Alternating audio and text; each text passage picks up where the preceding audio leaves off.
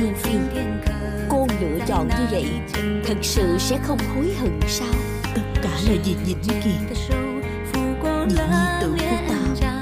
Cho dù người người mắng chửi ta tiểu nhân đê tiện Dù phải quỳ gối hầu phục kẻ địch ta quyết không hối hận. Là thuần quý phi. Tất cả mọi chuyện đều là thuần quý phi sai khiến. Nếu không phải bị quý phi ép Thì làm sao thừa thiên dám làm vậy? Sau này con nhất định phải nghe lời của lệnh phi nương Đây là